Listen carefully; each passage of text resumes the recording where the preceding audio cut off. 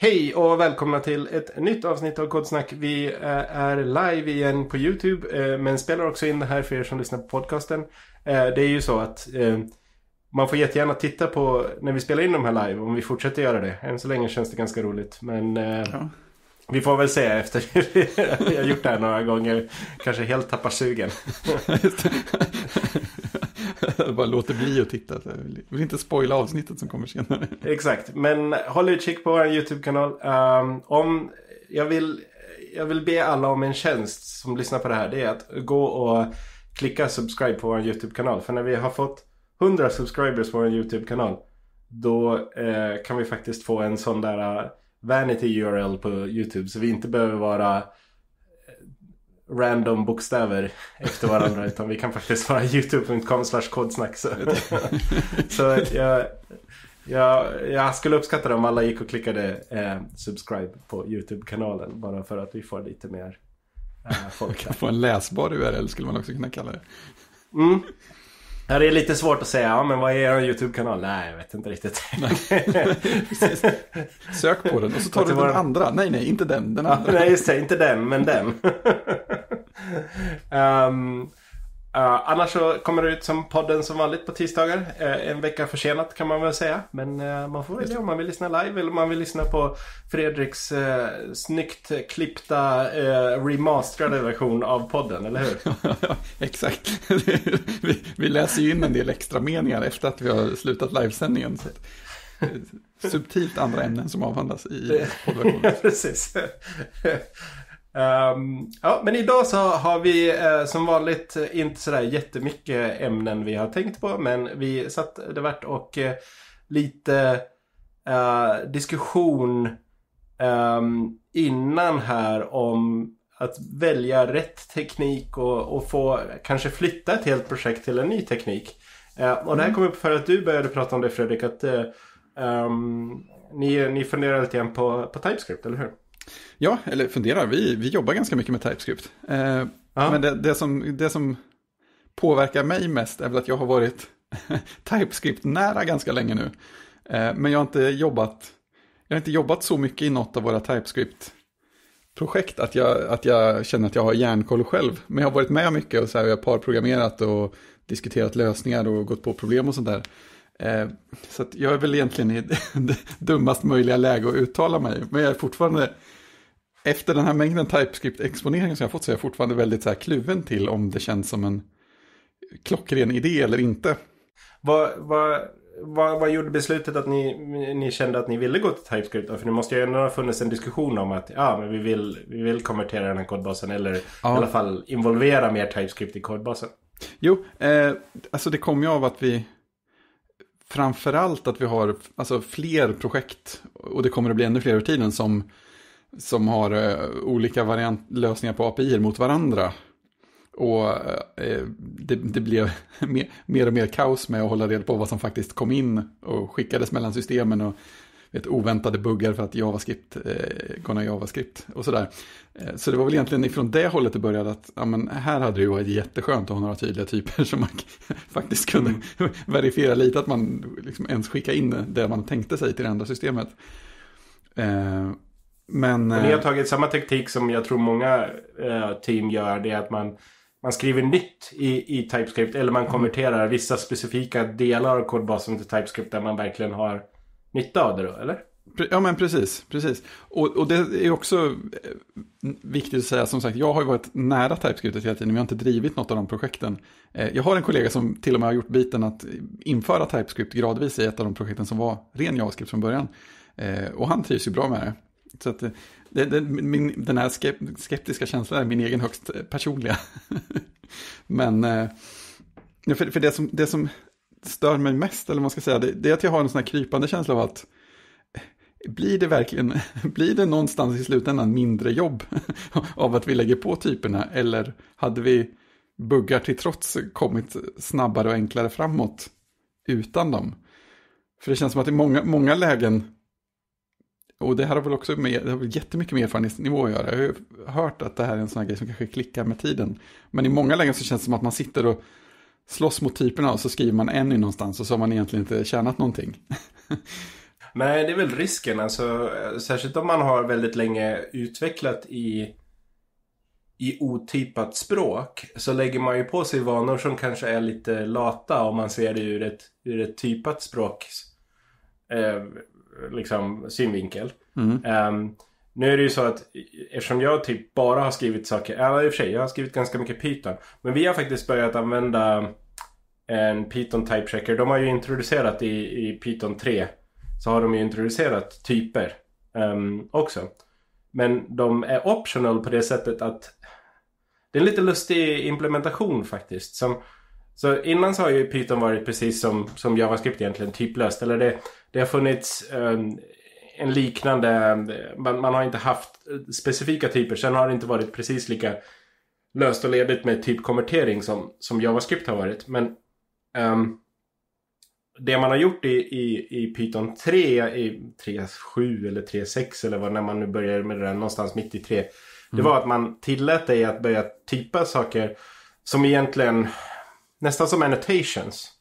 Men kompilatorn skiter i det. Um, så, eller standardimplementationen struntar helt i att, att typen är där. Så det händer liksom ingenting runtime. Utan tanken är att man ska kunna lägga till typerna där man vill. Och sen är det, ska man ha en linter då som gör själva typkollen. Uh, okay. Så um, det, det, skriver du fel, använder du fel typer så skiter själva eh, interpretatorn eller kompilatorn helt i det. Mm. Um, medans uh, har du då, och sen så är det ju så här. Eftersom allting ska vara enkelt så finns det ju flera olika implementationer av själva lintningen då. För det finns inte en officiell implementation av uh, typlintningen. Um, och det som hände i början var att den som utvecklades i med att man utvecklade språkfunktionerna var att man utvecklade den som jag tror heter MyPy eller My, My Type. Ja, den heter något sånt där konstigt med My i alla fall. Och den var superstrikt. Så den var så att hade du inte typer så failade projektet. Vilket gjorde att det var nästan helt omöjligt att använda den linten på ett redan existerande projekt. För du behövde konvertera hela kodbasen till att använda typer eller inte. Ja, just det. Uh, och och um, det har lösts lite grann på senare år för uh, när Googles Python-team ville börja använda typer i sitt så insåg de att det gick inte att använda den här existerande lintaren för de skulle behöva skriva om flera hundratusentals rader kod mm. för att få det typsäkert. Då. Um, så de utvecklade såklart som Google gör en egen typcheckare som istället för att när den ser ett, ett otippat funktion eller argument så istället för att um, ge en varning att hej den här är inte typad. Så testar den alla olika typer. Och försöker själv lista ut vilken typ det är du menar att du vill skicka tillbaka där. Oh. Spännande um, så jag kan säga på våran kodbas som kanske, eller på en av våra kodbaser där vi har infört typning. Där vi har um, en sån där mixad miljö där vi har lite typat och, och flera typade. Eh, och det är en ganska liten kodbas. Det är inte ett jättestort projekt. Kanske några tusen rader kod. Men det tar tre minuter att köra lintaren. så jag kan tänka mig bara hur det här skalar uppåt. Mm. Um, men, men fördelen är då att ju mer typer du lägger till i kodbasen desto snabbare går det att köra lintaren för då behöver den inte gissa uh, typningen. Um, men sen är det ju en annan diskussion då. Um, jag, jag, tycker det är en bra, för du tar egentligen, egentligen poäng, äh, vet du, poängen du tar upp är ju är typer värt att ha eller inte. ja, eh, precis. Det, den är ju och, svår. Och det är ju, det är, jag tror att jag tror att det är en sån här, man måste titta på projektet och vad man försöker utföra i projektet för att svara på frågan är, är typer någonting att ha eller inte. För jag ja. tror att det är väldigt lätt att man um, det är väldigt lätt att man tänker, ja, men jag, alltid, jag har programmerat C, C, C++ hela mitt liv. Jag vill ha typer överallt. Det är en av sakerna som har, jag har känt varit skönt med TypeScript. Um, det är lite jag har gjort det är ju att ah, men det här liknar ju C++ mycket mer än vad det liknar mm. någonting annat liksom. För det är ju mycket mer strukturerat och med typning och um, även en, en klassstruktur som jag tycker liknar mycket mer C++ än vad det liknar vad JavaScript gjorde innan själv. Mm. Liksom. Mm. Um, så på så sätt har ju det varit, det har ju känts lite så här hemmavant på något sätt. Men mm. jag tror att det handlar väldigt mycket, och för min del så känns det så att ju, ju mer komplext och ju större projektet blir, desto mer intressant är det att typer i det. Om jag fortsätter att skriva ett Python-skript som bara itererar över ett par filer och ändrar tjohej liksom. Då är det ju skitsamma om jag har typer i, i de fem funktionerna eller inte. För att om jag inte förstår vad den gör så har jag andra problem. Mm. Um, medans om vi tittar på ett stort projekt, så, precis som du säger, att det skickas väldigt mycket data fram och tillbaka mellan olika delar och så. Ja, men då tror jag faktiskt att typer har eh, en, en, bra poäng att finnas där. Um, det, det, kan ge någonting. Uh, mm. Men det är klart, det är en omställning. Och det är också en fråga om Funkar det att ta en gammal kodbas som är skriven utan typer um, med vissa förutsättningar och konvertera det bit för bit till typer eller till ett annat språk överhuvudtaget. Och det kommer väl tillbaka till den här diskussionen. Ska man skriva om ifrån början eller ska man uh, Ska man eh, liksom skriva nytt? Ja, eller skriva om från början eller ska man, ska man iterativt ändra i, i en existerande kodbas? Jag vet att det finns, det är en diskussion som vi har haft uppe många gånger, att det finns ganska bra argument på båda sidorna känns det som. Mm. Ja, men det, är, roligt, det, på, det pågår en bra diskussion i, i chatten här. Bland annat med Andreas ja. som är just min, min kollega som har infört TypeScript gradvis i en av våra kodbaser. Eh, och mm. det är roligt för alla är ju väldigt överens i diskussionen att men det, här, det här det funkar bra. det är ingen som riktigt känner någon som har infört TypeScript och så ångrat sig och tänkt att det här var det värsta. Så att jag, grejen är nog, gissar jag, tolkar jag det som att jag har ju helt enkelt inte kommit över den där ribban. Jag är fortfarande kvar i den nivån att ja, men jag vet ju vad typer är och ungefär hur man gör, men jag, inte, jag har inte den mentala strukturen för hur och var jag borde lägga dem. För det var en annan sak vi pratade lite grann om innan här, att jag, jag kan tänka mig att eh, en TypeScript-kodbas som är driven av någon som har bra koll på TypeScript på en högre nivå än vad jag har ser ganska annorlunda ut mot en TypeScript-kodbas som jag just nu skulle skapa. Eh, men jag har inte känslan för vad skillnaden är än. Och det kanske helt enkelt inte har skrivit tillräckligt mycket, eller så har jag inte hittat. Nej, men det är en erfarenhetsgrej och, mm. en, och en utbildningsgrej. För att um, det där är väl en, en, en en klassisk grej inom datavetenskap att det bästa programmet du kan skriva är ju inte det du skriver första gången du använder ett nytt verktyg. Nej. Uh, utan ganska långt ifrån. Och, och, att man måste ju vara beredd. Jag tror ju att man måste vara beredd. Och det är väl det som är risken att man fastnar i att Ja ah, men det här är den första prototypen jag skrev och nu är det våran produktionsgrej. Och där finns det saker som jag inte förstod när jag skrev det. Mm. Som nu jag får leva med i fem år innan vi har möjlighet att, att, att ändra på det. Ja, det. Um, och, och, det vi pratade om förra veckan om att vi höll på att flytta över vårt byggsystem och vår Jenkins till, um, till Kubernetes. Um, och i det så handlar det också om att vi skriver om våra pipelines. För, för lite är det så att vi måste skriva om våra pipelines för att, för att passa i en värld där vi inte har fasta maskiner med verktyg installerade på precis samma ställen och sådana saker. Utan det, det är ju mer lite flytande och, och, man får sitt workspace och sen tas det bort när man är klar och liknande saker. Så man har liksom lite andra förutsättningar. Um, så vi behövde skriva om våra pipelines. Men det vi har märkt då det är ju att vi skriver så jäkla mycket bättre pipelines nu. Mm. Um, som är mycket kortare och koncisare och inte alls lika komplicerade och svåra att att uh, hantera. Och det är ju för att vi har nu tre års erfarenhet av att skriva pipelines i Jenkins. Mm. Och vi har insett att ah, men att skriva det på det här sättet, det var kanske inte det bästa. Och en av de sakerna vi har gjort är att när vi, när vi började skriva våra pipelines så kan man skriva sina pipelines i antingen i ren Groovy som skriptspråk med alla verktyg du har i ett skriptspråk. Eller så kan du skriva dem i någonting som heter declarative som liknar mer men nästan som en JSON-deklaration över hur din pipeline ska skrivas. Mycket mer begränsat. Ehm, men ehm, lite lättare att, att överblicka. Och när vi började skriva våra pipelines då kände vi det här med deklarativt var så otroligt begränsande. Så vi fick skriva samma saker om och om igen och det, det gick inte att göra så bra eh, återanvändning av kod och liknande saker. Så vi tyckte att nej men vi, vi bara gör ett policybeslut att vi skriver alla våra pipelines i, som scripted och så behöver vi inte tänka på det. Och nu tre år senare så är det så här. Vi tar declarative. Det ska inte vara så här mycket komplicerad logik i våra pipelines. Nej. Det är helt fel väg att gå.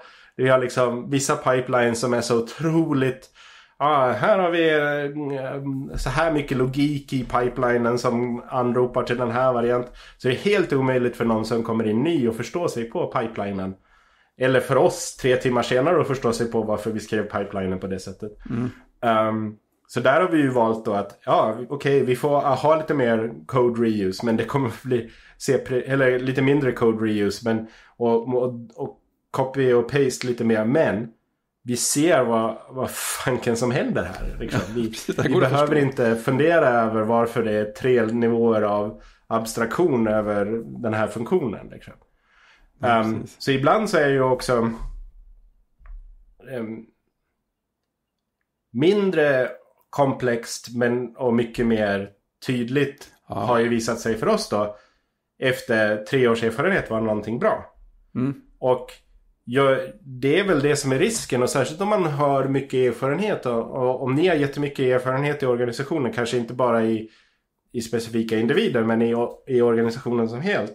Att skriva JavaScript-applikationer och sen helt plötsligt så ska man skriva TypeScript-applikationer. Då kommer det ju vara en period där antagligen mycket av det kommer fungera sämre innan alla förstår hur allting hänger ihop och fungerar.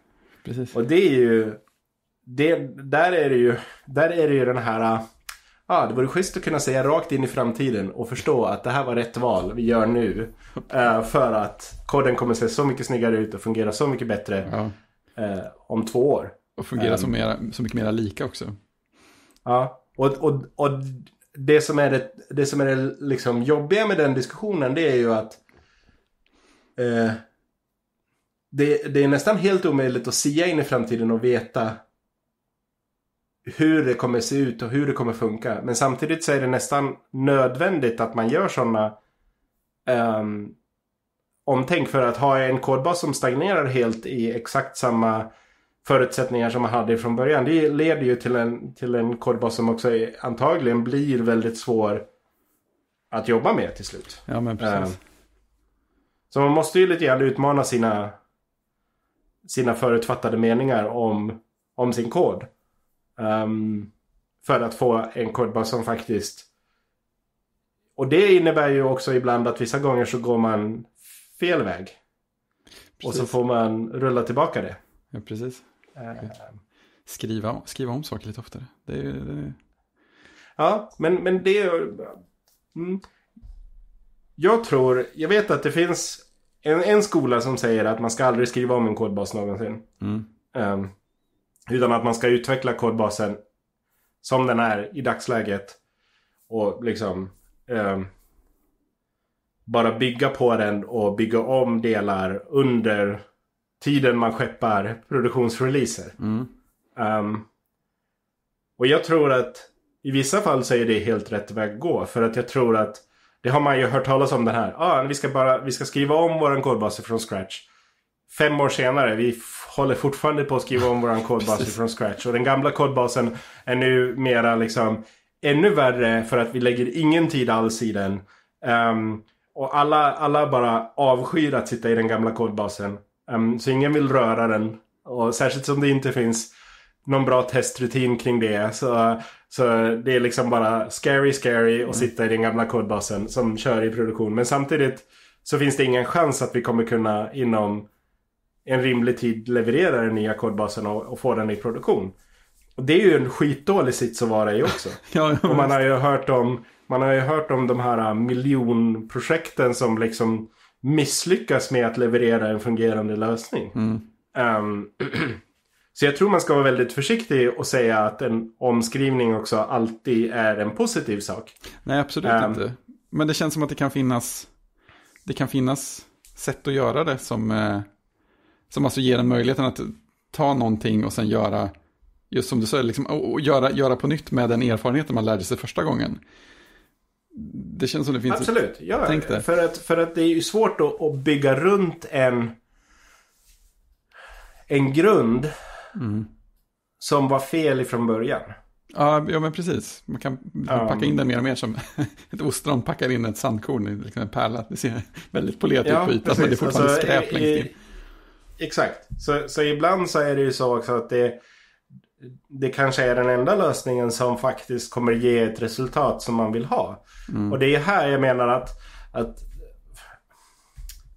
hur ska man kunna veta det utan att ha en tidsmaskin? Nej, men man kan inte. Men man måste... Man, jag tror att man ska vara mycket mer villig att göra de här sakerna som att okej, men då testar vi det här. Um, Vi testar att skriva om den här modulen till TypeScript eller så. Men också vara redo på att om det inte funkar, antingen för tekniska anledningar eller för kulturella anledningar, så kan vi också bara skita i det och gå tillbaka. Mm. Um, och jag tror att det är svårt för väldigt många också att känna att ah, men vänta här nu. Um, det här funkade inte. Då lägger vi ner det här som vi har hållit på och jobbat med i x antal månader. Um, och sen så måste det ju också finnas en villighet att det här är någonting, precis som det är för dig nu då. Ah, men det här känns kanske inte riktigt som det gjorde innan. Det, det är lite svårt. Men samtidigt så måste man ju också vara nyfiken på att se hur skulle det här kunna se ut när det är fullt implementerat och vi alla förstår det och hur mycket bättre skulle det bli. Så, så det handlar väl igen- återigen om att ha ehm, väldigt mycket ödmjukhet inför att man faktiskt oavsett hur många år du har jobbat i branschen inte har svaren på alla saker och ting hela tiden. Nej, men visst, och det är ju trevligt, för där, där, även om jag inte har kommit över eh, ribban än, så ser jag ju, när jag är inne och gör fel i TypeScript-kodbasen, så ser jag ju ofta att, eller så inser jag ju ofta efter en stund att, ja just det, eh, hade, hade typerna sett rätt ut här, i hela det här spåret, så hade, så hade det här problemet inte uppkommit. Eller, och jag kan se ibland så här, ja just det, det här är, det här är någon slags typ klagomål på grund av ungefär det här. Så det, det börjar ju komma åt rätt håll. Eh, men jag, jag läste en eh, intressant eh, omskrivningshistoria Mm. typ häromveckan. Eh, jag jag lägger, lägger en länk till den såklart. Eh, det finns ju en eh, Apple-nyhetssida som heter Mac Stories. Ja. Och de, de sjösatte sin, sin, eget, sin eget backend för några veckor sedan. Okej. Och han utvecklaren som, som byggde allt det skrev en ganska, ganska matig, trevlig bloggpost om det. Och de byggde ju sin backend på bland annat Ghost, det här statisk sidgenererings ja, just det. Mm. CMS-et. Eh, och det var liksom kärnan i det hela som genererade. Sen hade de liksom andra API och tjänster utanpå det som interagerade med Ghost. Och Ghost eh, var inte riktigt gjort för att lösa de problemen de hade på exakt det sätt de behövde. Så att det blev liksom, det skavde mer och mer. Och sen till slut så, så var han så irriterad på det så att han sa det. Bara, jag, jag, jag sa nästan till de andra och sen så, sen, så, sen så satt jag en hel helg och skrev, skrev ett eget CMS istället för Ghost. Och sen så på liksom, nästa tisdag så funkade det faktiskt. Och, och alltså det där är ju, å ena sidan kan jag tänka att det där är ju en helt livsfarlig grej att dra lärdom av. För att jag sätter mig över helgen och byter ut det. Men det finns ju något, det finns ju något väldigt intressant där i tycker jag också. Framförallt eftersom det handlade om att byta ut en, en, en mycket mer generell stor komponent mot någonting mer specifikt för det problemet man försöker lösa. Det är ju, ja. Det, det, jag tycker det är spännande, för, för det kommer ju från att vi, vi pratar ganska ofta om det här med stora teknikstaplar vi har. Och vi har ju så mycket saker som är gjorda för att man ska få en bra utvecklarupplevelse och komma igång och utveckla snabbt. Och så har man det här nivåerna med olika generella verktyg som gör väldigt mycket saker och man har massa moduler. Eh, det, det finns ju något tilltal, väldigt tilltalande för mig i det där att sen kunna gå tillbaka och sen den här biten, Den är jättegenerell. Vi byter ut den mot den här specifika som löser liksom det vi behöver. Det det har visat sig att vi behöver utifrån vad koden runt omkring gör. Eh, och jag vet inte vad man tar för konkret lärdom av det, men jag tycker, jag tycker det är intressant Jag tror att den prata om. konkreta lärdomen att ta ifrån det är någonting som jag tror är den saken som dyker upp mest i den här podcasten när vi pratar om det. Det är att man måste använda rätt verktyg vid rätt tillfälle. och inte tänka att uh, den stora teknikstapeln eller den lilla eh, specifikt byggda saken är just rätt för det här projektet. Utan Mm. man måste utgå ifrån vad faktiskt förutsättningarna är istället för att ha förutfattade meningar ifrån början. Mm. Ehm, och, och det där är ju... eh, Det var någon som sa något här bra. Stefan Forsberg sa precis eh, en bra sak i chatten. Att eh, det bästa programmeringstippet som finns är att sträva efter att det ska vara billigt och enkelt att ändra och ångra sig. Ja, just det. Den är bra. Och det, det tror jag det handlar om en inställning i sig själv. Att säga att ehm, jag gör det här som en test. Och funkar det inte så funkar det inte. Och jag ska inte hänga upp mig på att det inte funkar. Um, utan, utan då ska jag känna att okej, men då testar vi det och då har vi lärt oss någonting utifrån det. Istället för att känna Fan, nu har jag lagt tre månader på att undersöka det här ramverket eller det här verktyget. Och det bara funkade inte. Och nu måste jag kasta allt det och det känns som att vi har liksom slösat den tiden. Men jag tror inställningen man ska ha är, nej men då har vi lärt oss någonting av det. Även fast det inte var kanske det, det, den utgången vi ville ha. Ehm, och sen så är det också en organisatorisk grej att det inte ska vara Det ska inte finnas en, manager som kommer till en sen och säger Hörru nu har du lagt tre månader på det här och det gick åt skogen. Ehm, det var ju verkligen inte bra. Hur ska, vi, hur ska du lösa det här nu då? Det. Ehm, för det, det, det handlar ju väldigt mycket om hur inte bara du som individ ehm, tänker kring saker och ting utan det handlar ju väldigt mycket om hur ditt team och din organisation tänker om saker och ting och det är ju en mycket svårare sak att påverka. Ehm, men jag tror att det man kan göra där det är ju att modellera hur man vill att det ska funka. Ehm, sen om du har en dålig chef som, som eh, anser att, att allting ska funka på första gången. Då, Då jag vet inte problem. riktigt vad man ska göra åt det. Då kanske det finns andra jobb som passar dig bättre. Men, men, men liksom, jag tror att, att för att få en organisation som funkar. Och det är väl en av de få bra sakerna jag tycker Facebook någonsin har sagt. Det är just den här devisen att move fast and break things. För att det ger ju ett tydligt mandat till att Ja men testa sakerna, funkar det inte så, så, så rör vi oss därifrån. Um, och det är väl också det som Google är känd för att, att eh, testa en massa grejer som man sen bara skiter i. Ehm, och det är väl, det, det måste väl finnas en balans där någonstans också. Att, att japp, det, det är helt rätt att, att eh, vi ska tillåta eh, våra utvecklare att testa en massa saker som kanske inte kommer funka till slut, i slutändan. Men samtidigt så måste vi ju också se till att ta hand om våra kunder i den, i den eh, resan. Um, Vi avbryter den ordinarie utsändningen för ett specialmeddelande till allmänheten. Kodsnacks spelsylt kommer tillbaka den 8 oktober klockan 19.00. Är du trött på att aldrig få tid i ditt drömprojekt? Känns som att alla andra spelsyltar riktar sig till personer utan vare sig jobb, familj eller ansvar? Då är det här spelsylten för dig. Under två veckor så jobbar vi med varsitt spel med så litet scope som möjligt och med tanken men inte kravet att man ska sitta ungefär en till tre timmar per dag. Vi vill visa att det går att utveckla spel trots att man har mycket att göra. Och efter de två veckorna så har alla deltagare en vecka på sig att testa varandras spel och sätta betyg. Och ett mystiskt pris kommer att skickas till vinnaren. Priset presenteras på Kodsnacks Slack den 1 oktober.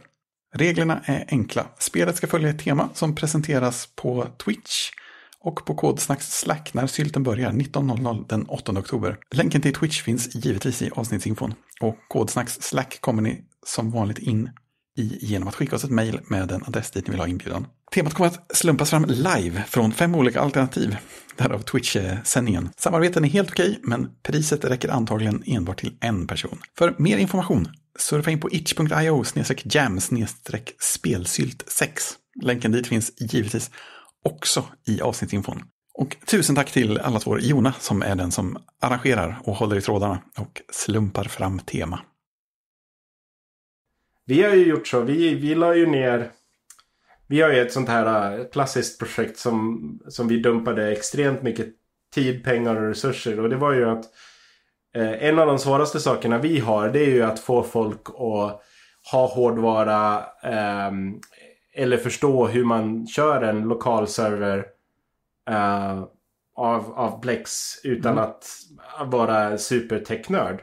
Mm. Um, så vi tänkte att en av lösningarna på det, projekt, eh, på det eh, problemet är ju att vi hostar Plex-servrarna på, med en one-click här nu får du en server. Ja, just det. Um, I molnet.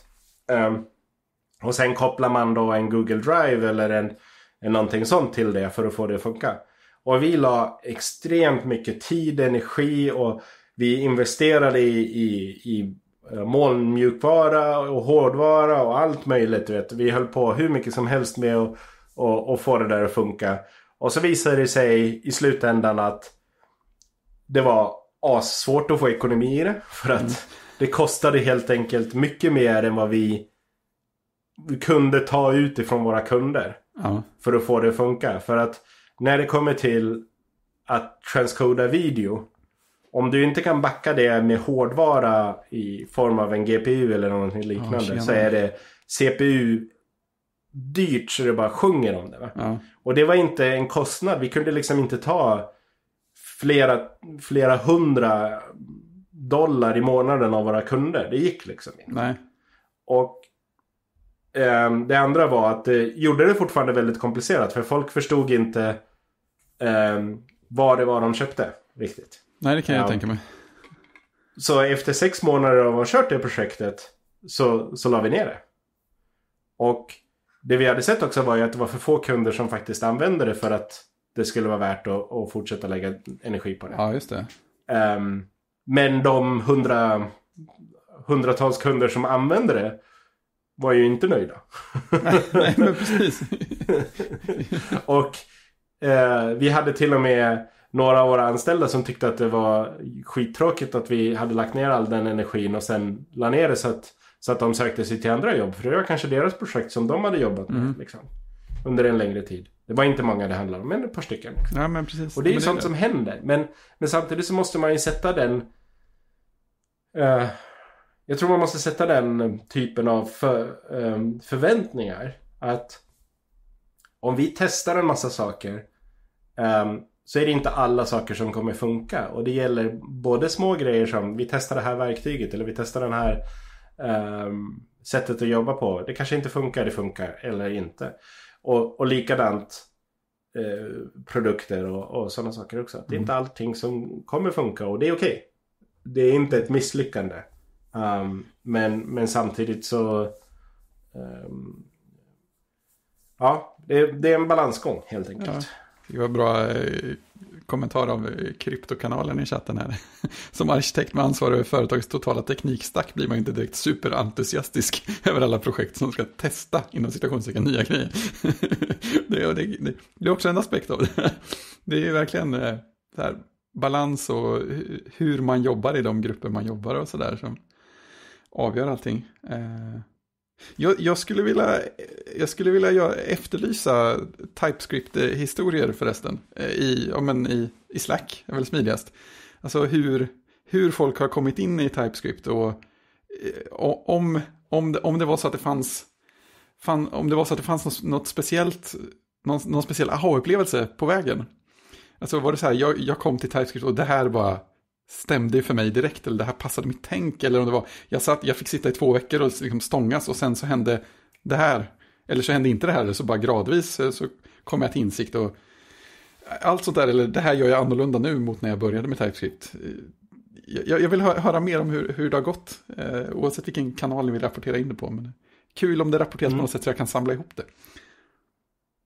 Mm. Ja men det är ju ett jättebra sätt. Alltså som sagt var. Det, det, jag, jag, tror att det finns en anledning till att väldigt många stora JavaScript-projekt rör sig mot TypeScript. Alltså det måste mm. ju finnas en, en handledning bakom det. Förutom att det är senaste häftiga ramverket som... som precis, och det har funnits länge nu så det är ju inte det. Det, det, um, det går ju Nej, precis. Och, och, det, har ju, det har ju backning av ganska stora um, företag och, och projekt. Ja. Um, så jag tror säkert att det är rätt teknikval för, för många. Och det verkar som att de, de flesta JavaScript-programmerare man pratar med har ju som har varit med i sådana projekt har ju inte tyckt att det har varit det sämsta valet någonsin heller. Nej men precis. så, så det är mycket möjligt att det är rätt. Men, men att höra hur folk har lärt sig eller approachat det är ju, är ju superbra. Ja, just det. Det är ju en aspekt som jag är väldigt intresserad av också. Alltså hur, hur, mycket, hur mycket insats upplevde du att du behövde lägga ner? Eller hur mycket energi upplevde du att du behövde lägga ner innan du kände att det började betala sig på ett tydligt sätt? Det, mm. det är ju kanske underförstått i de andra sakerna också. Men det, det tycker jag är väldigt spännande i sig också. Det är ju lätt att hamna i det här. Man kan antingen hamna i en, i en situation där man känner det vi har just nu, det funkar bra, varför skulle vi byta? Mm. Och då, missar, då är ju risken att man missar alla, alla fördelar med någonting som faktiskt har lärt um, Det finns ju anledningar till att till att man utvecklade TypeScript och det var ju för att lösa problem som, som hade med att göra att man, man inte hade koll på sina typer och, och mm. även viss prestanda som jag förstår det kan ju vara eh, TypeScript för att man slipper göra en massa typkonverteringar till höger och vänster. Mm. Um, så, så det finns ju anledning till att folk har utvecklat det. Så att bara säga att det vi har idag det funkar bra, det är inte alltid lösningen. Men sen finns det ju också den andra sidan av det, vilket är ah, det här projekt, projektet är skit för det använder JavaScript. Det ja. borde varit TypeScript för fem år sedan. Um, nu, nu skriver vi om alltihopa idag och det är väl det som, som eh, kryptokanalen var lite grann inne på där. att det är väldigt lätt att se någonting nytt och coolt och känna att det här löser alla mina problem. Men egentligen så är det kanske inte verktyget som um, är problemet. Nej, nej, men exakt. Det är ju sällan verktygens fel egentligen. jag, jag, jag, tänker fortfarande alltid på Netscape när, när man pratar om stora omskrivningar som går dåligt. Ja, just det. Mm. man visar sin ålder liksom. ja, men det, det, är ju en viktig läxa att lära sig att, att ja och en, en viktig läxa att lära sig utan ett bra svar på. Ja, ja, men, ja, men precis. De var ju i en situation där inte det var riktigt Netscape hade ju då utvecklats under tio år eller någonting när de kom till den punkten att de kände att de kunde inte hänga med i en nyomskriven webbläsare som, som kastade bort en massa saker som som var där i, i, som de hade tagit beslut om tio år tidigare. Liksom. Ja, det var inte ens tio, det var um, typ fem år tror jag. Det var, det var ganska snabb. Eh, var det, var det så kort? Ja, det kanske ja, var men det var, det var väl Netscape eh, i fyra trakten de började skriva om va? Tror jag. Om inte, om inte tidigare, att det löpte parallellt. Men jag tror att det var framåt ja, Netscape 3 de började känna att det, det, det, här är en väldigt stor hög med fulhack. Eh, mm. Jo, och jag menar, där var det ju inte ens det bara att um, deras kodbas var någonting de aldrig hade jobbat med. Man hade ju inte nej. jobbat med webben heller. nej, det var ju en helt, ett helt nytt teknikspace. Så ja. det måste ha varit otroligt svårt att ta rätt tekniska eh, insikter när man kommer in till ett fält som är så nytt och grönt. Ja, ja men visst. Hur... Eh, och, och, och det märktes ju väldigt mycket i säkerhetsaspekter och liknande saker. Ja, det också. För att man, man byggde ju inte det kring det från början. För det var ju inte det man tänkte på. Man tänkte ju inte på aha, det här kommer ju utnyttjas av liksom illviljande människor att försöka göra botnets över hela världen. Liksom. Nej, det var ju inte det som, det var inte det man hade i utgångspunkten. Utan, um, så därför på något sätt så var det väl ändå man behövde ju man behövde ju göra någonting. Och jag är inte säker på att, det är svårt, det är jättesvårt att veta om de hade valt en annan approach där de hade försökt skriva om delar av Netscape istället. Mm. Hade det löst problemet eller hade de alltid haft de här äh, inbakta uh, vet du, idéerna ifrån början? Ja, um, precis. Och det är ju liksom en sån där omöjlig sak att svara på. Det är ju därför det här är så svårt. För det finns mm. aldrig det finns aldrig ett svar som är, men det är alltid, och det är därför jag blir så otroligt skeptisk när jag ser sådana här artiklar som säger du ska aldrig skriva om din kodbas. Mm. Okej, okay, fine, i de flesta fall så kanske du inte ska det. Men det kommer finnas fall där det faktiskt är rätt svar på, på, på det hela. Och det är likadant som att säga att alla JavaScript-projekt ska bytas ut mot TypeScript. Är det sant? Antagligen inte. Antagligen så finns det många projekt som faktiskt fortfarande kan skrivas i, i, i, i JavaScript. Och det funkar alldeles utmärkt. Ja. Eh, och att man bara introducerar för mycket komplicerade saker ovanpå. Eh, och likadant med typning i Python. För vissa projekt så kommer det vara helt rätt. För mitt lilla eh, skriptprojekt som inte alls eh, slussar runt data på det sättet, då är det inte rätt val. Nej. Ehm. Spara mycket tid på att inte ha det i just det fallet. Och jag tror att om man vill ta någon lärdom ifrån det hela. Så har jag mer och mer blivit fan av att göra timeboxade utforskningsgrejer. Mm. Ehm, och, och som nu sist så hade vi ett projekt som skulle ehm, som har varit ett besvärligt projekt för det tar ehm, flera timmar att kompilera. Och det är för att det inkluderar en hel kopia av Chromium. Ja. Ehm, och som vi, som vi måste ha vissa patchar för. Ehm, vilket gjorde att utvecklarna satt fem timmar och körde kompilationer lokalt.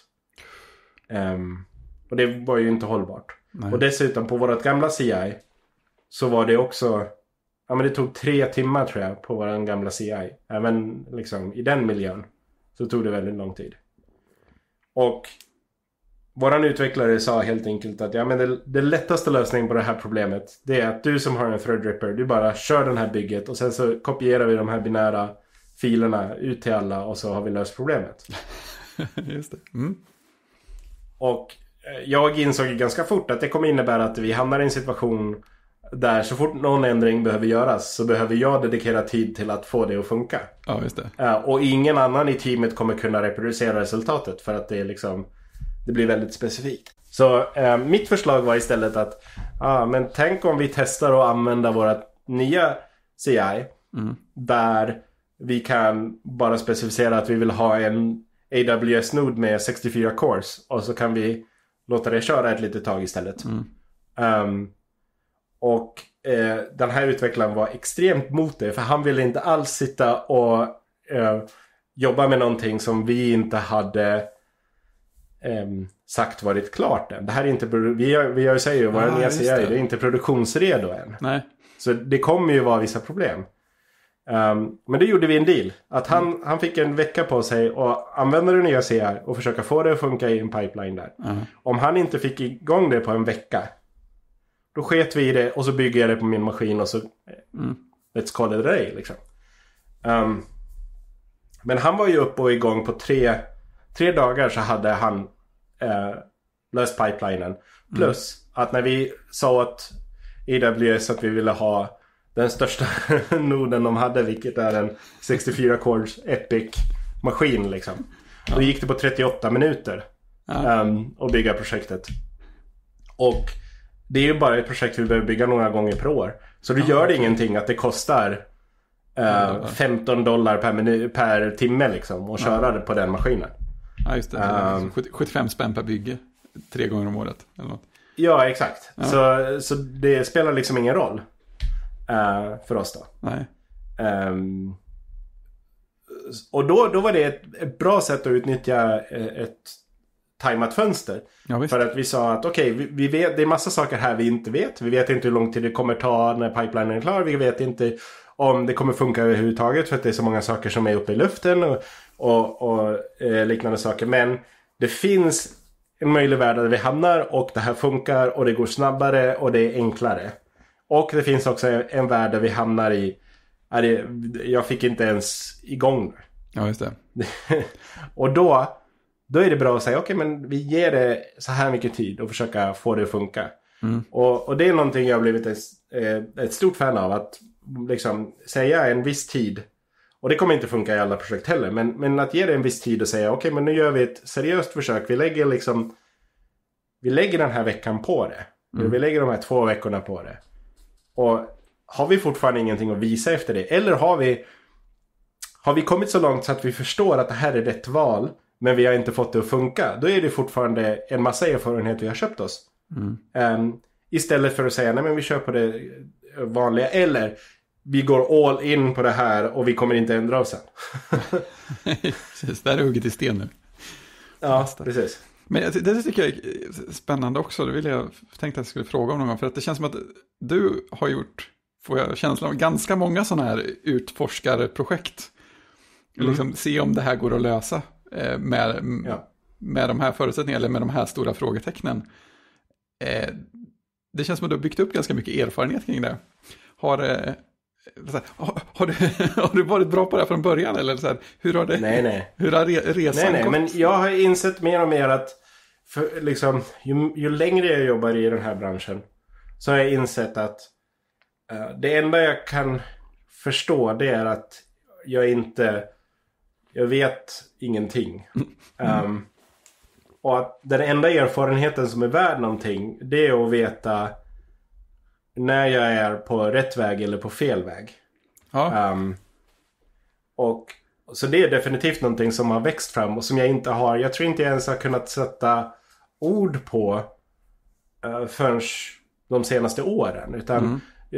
det är då jag börjar förstå att okej okay, men det är det här jag gör. Det jag gör är att försöka så fort som möjligt ta reda på om den vägen vi är på väg ner nu är rätt eller fel. Mm. Och allting annat är egentligen bara fluff. Liksom. Ja. Um, för att jag tror att tidigt så tänker man sig så här. Och alla de här sakerna, det är helt beroende på vad du har för roll i företaget. Men jag tror att när jag började programmera så tänkte jag mycket att när man är en duktig programmerare, då kan man många språk. Ja, och så kan man skriva snygg kod. Ja, och så man skriver rätt från början och sådana saker. Ja, precis. Alltså det ska kompilera på första försöket. Ja. Uh, och jag tror att ju, ju, längre tid jag jobbar så inser jag att det där är ju sådana saker som man lär sig. Mm. Det, det, jag tror att, ja, liksom, förutom språk som är gjorda för att vara krångliga att förstå så tror jag inte att det är, det är något programmeringsspråk vid det här laget som jag inte skulle kunna lära mig. Mm. Um, alltså, skulle nog antagligen inte kunna lära mig brainfuck. Men jag menar, det, det är inte riktigt gjort för att man ska lära sig det heller. Vi skulle kalla det för um, ett edge case ändå. ja, exakt. Uh, men om, om, vi alla bestämde oss igår, imorgon för att hela medieservern, alltihopa ska skrivas om ifrån C++ till Rust. Ja. Så känner jag mig inte, det jag, inte, jag känner mig inte orolig för att jag ska lära mig Rust. Mm. Det är liksom inte det som där min, min osäkerhet ligger längre. Utan däremot så är det sådana här saker som, okej okay, men hur bra kommer Rust funka i produktion på alla 15 operativsystem vi kör och eh, med de verktygen vi har och hur integrerar eh, en Rust-wrapper runt FFmpeg vilket är en sak som vi inte kommer skriva om liksom, i, i Rust ifrån början. Och, och, och alla de svaren kan ju inte jag få genom att läsa en bok. Nej. Det finns ju inte liksom en artikel där jag kan läsa ja, Rust funkar, när man skriver en applikation som ser ut så här så kommer den funka skitbra på den här gamla ARM-CPUn ifrån 2003 liksom, som finns i det här specifika NAS-devicen. Liksom. Det, det, det, finns ju liksom inga sådana svar. Nej. Utan det enda svaret som finns då det är okej okay, men då får vi skriva just den lilla biten och köra den på den NAS-devicen och se vad som mm. händer. Ja, men då är man inne på den här området man löser ett nytt problem också. Det här, det här, är, det här är ett ja. frågetecken som är för oss. Mm, då blir precis. det otydligt. Men äh, jag tänker det här, just avgöra så snabbt som möjligt om man är på rätt eller fel spår. Har du någon så här, mm. finns det så här, Tobias, tre vanligaste så här, tydliga varningsklockor för att det här är fel spår? Eller för jag kan ju tycka när man börjar med något nytt så här så är det bara frågetecken alltihopa. Och så här, ja, det här skulle kunna vara ett oöverstigligt hinder. Men det kan också vara så att det är bara jag som inte tänker på det från rätt håll än. Nej, jag vet inte om det är så. Det är... Min, min kollega säger att jag har en ovanligt konstig magkänsla för saker och ting som, som håller på att braka helt åt skogen. Ja. Så jag vet inte om jag kan, om jag har liksom kvantifierat det på något sätt som jag kan säga så här. Det här är de tre sakerna vi tittar på. Men jag är oftast det som jag är väldigt känslig för. Det är när um, jag gör någonting. där jag får ett fel som jag inte förstår. Mm. Och sen finns det ingen annan som har haft det felet på Stack Overflow eller Google. Ja. det, det, det är tråkigt. Det kan man säga. Då, då är det som... Det brukar vara en röd flagg för mig på det sättet att okej. då an, antingen så är, vet jag att jag är ute och gör någonting som aldrig har varit gjort förut. Mm. Och då måste jag acceptera att jag kommer behöva hitta alla svaren själv. Ja. Eller så trodde jag att det här var någonting som verktyget skulle lösa. Men ingen annan verkar ha gjort det. ja, det. På det sättet som jag gör det på. Och det är också en varningstecken. För Ja. det innebär att jag trodde att jag skulle lösa det här problemet på ett enkelt sätt. Men det verkar som att ingen någonsin har gjort så här. Nej. Ehm, och jag, det tror jag oftast är en, en position, när man hamnar i den positionen, då ska man verkligen tänka igenom vad man är på väg att ge sig in på. För att antingen så är du i situationen där du inser att nå- verktyget du håller på med inte löser problemet så enkelt som du trodde det skulle göra.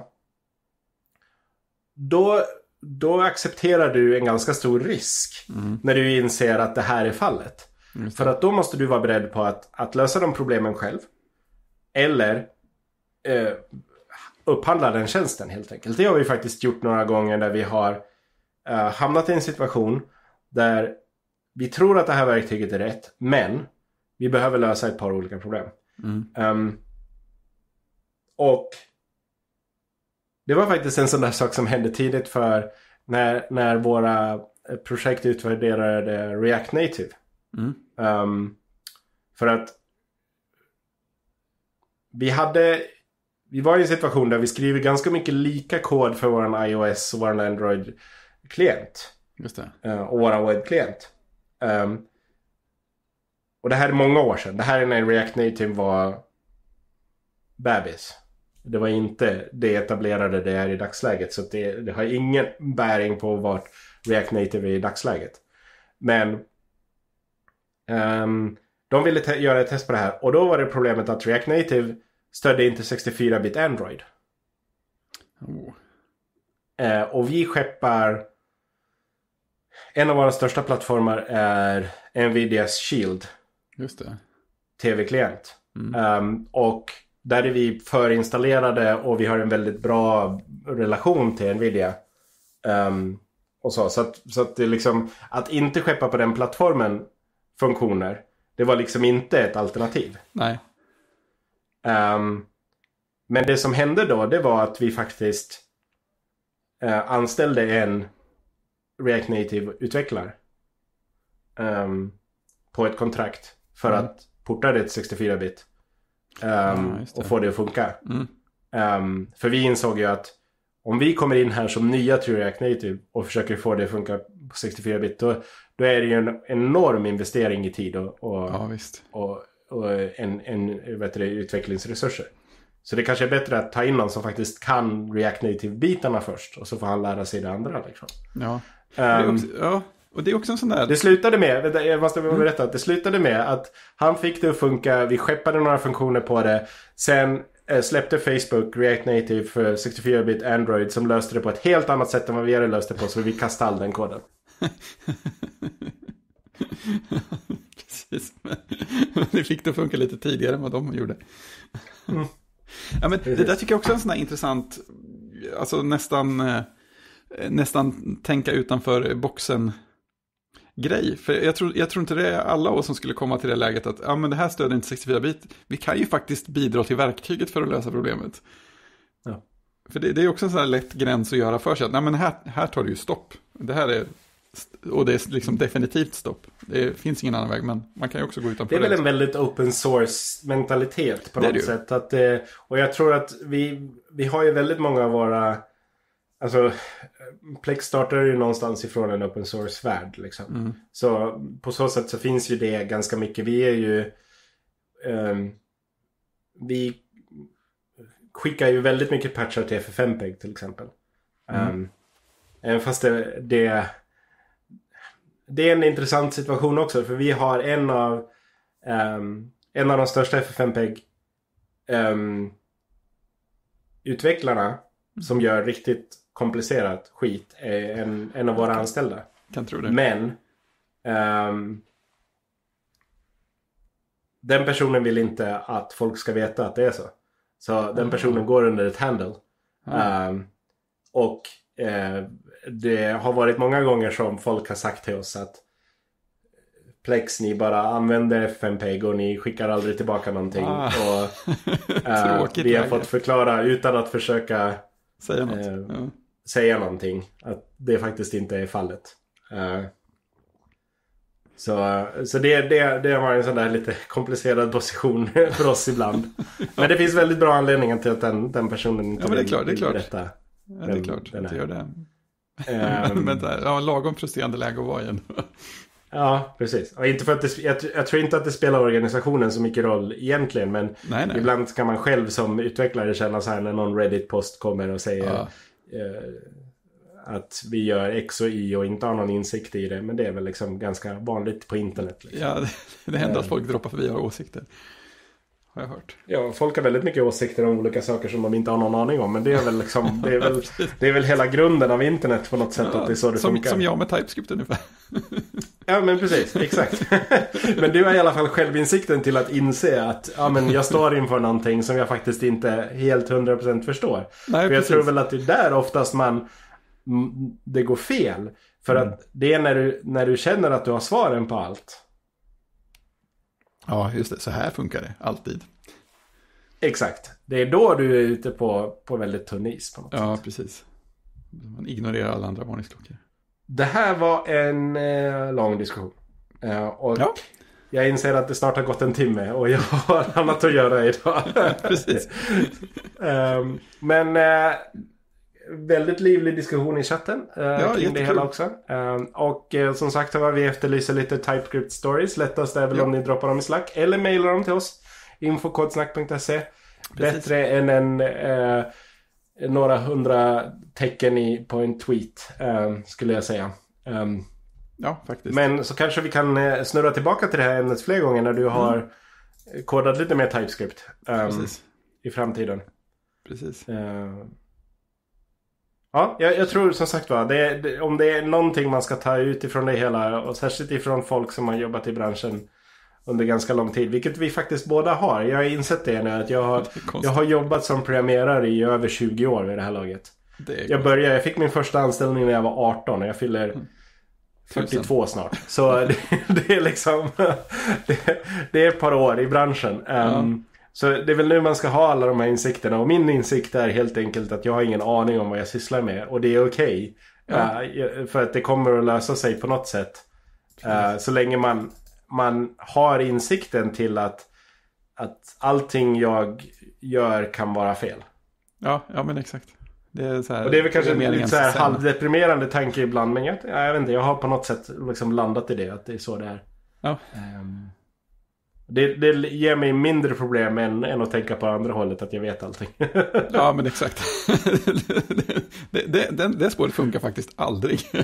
Nej, det, det är sällan. Tack alla för som tittade live på YouTube. Uh, Tack alla som lyssnar på podden. Uh, Som sagt var, subscriba till vår YouTube-kanal. Um, köp grejer ifrån eh, shop. Um, Andra sådana saker. Um, skicka flera meddelanden till Kristoffer och be han dyka upp i våran livepodd ibland. Uh, Precis. Det vore kul. han behöver lite uppmuntran. Han jobbar för mycket, det är det som är problemet. Ja, det, Han verkar alltid vara upptagen med någonting nu för tiden. Men det är så, det är livet. precis. Peak busy. Ha det fint allihopa. Ja, Hörs nästa gång. Hej. Tusen tack för att du lyssnar på Kodsnack. Vill du stödja oss? Tipsa en bekant om podden eller lämna en recension i till exempel iTunes. Du kan också köpa prylar med Kodsnacktryck eller stödja oss med en kaffe på coffee.com. Alla länkar och alla avsnitt finns på kodsnack.se och vill du vara med i vår extremt trevliga Slack? Mejla info.kodsnack.se så skickar vi en inbjudan.